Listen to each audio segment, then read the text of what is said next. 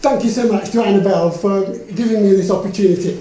I, I, want to read a very short passage from uh, the man I regard as one of the seven or eight great figures in the history of landscape architecture.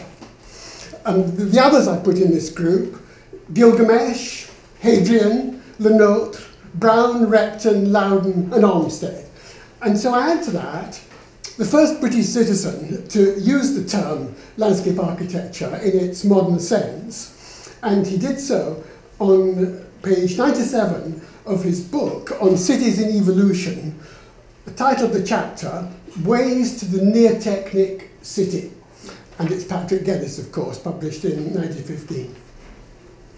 He was a Scotsman, and so I'm going to do my pathetic best at rendering his intonation, for which I hope you will forgive me. The city parks, which are among the best monuments and legacies of our late 19th century municipalities, and valuable, useful, often beautiful though they are, have been far too much influenced by the standpoint natural to the prosperous city fathers who purchased them and who took them over, like the mansion house parks they often were, each with its ring fence, jealously keeping it apart from a vulgar world. Their layout has as yet too much continued the tradition of the mansion house drives to which the people are admitted on holidays and by courtesy and where little girls may sit on the grass.